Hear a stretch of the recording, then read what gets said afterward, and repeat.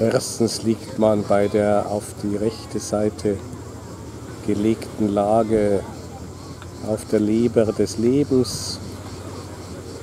Und zweitens befreit man das Herz und die Atmung von der Mühe des Erdrücktwerdens.